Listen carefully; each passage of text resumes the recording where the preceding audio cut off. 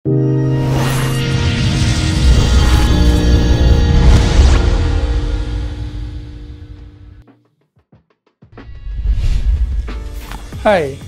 nama saya Nur Amirul ataupun lebih dikenali sebagai Amtua.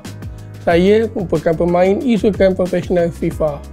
Saya telah berkecimpung di dalam bidang e-sukan selama 10 tahun.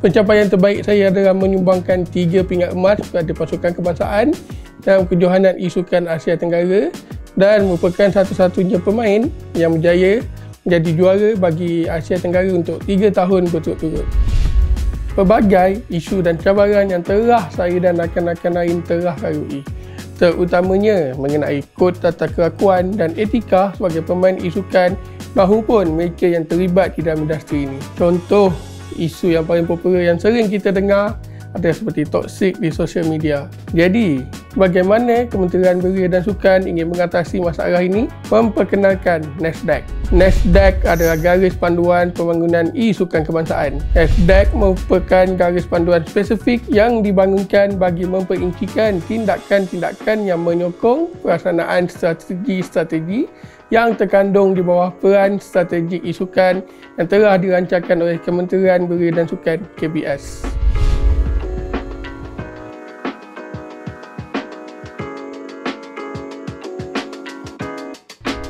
Kod tingkah laku dan etika juga dikenali sebagai kod etika telah ditubuhkan untuk menetapkan peraturan dan panduan yang mengawal tingkah laku dan tindakan semua pihak yang terlibat dalam ekosistem e-sukan di Malaysia. Tujuan utamanya adalah untuk mempromosikan dan membangunkan integriti e-sukan di peringkat tempatan dan global.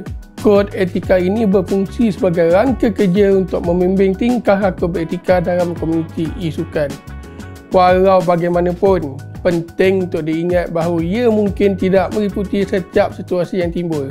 Untuk memastikan kebolehgunaannya, kod etika ini dikemas kini secara berkala untuk mengatasi isu-isu baru dan signifikan, memberikan panduan kepada semua pihak yang terlibat adalah penting bagi semua individu dan organisasi yang terlibat dalam isukan untuk membaca dan memahami kod etika ini. Ia mewakili standard minimum tingkah laku yang harus diterima oleh semua orang dalam komuniti ini.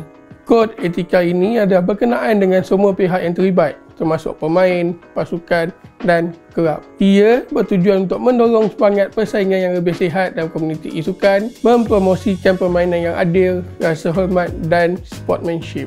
Dengan menegakkan prinsip-prinsip ini, kita dapat terus mengukuhkan integriti dan pertumbuhan isukan di seluruh dunia.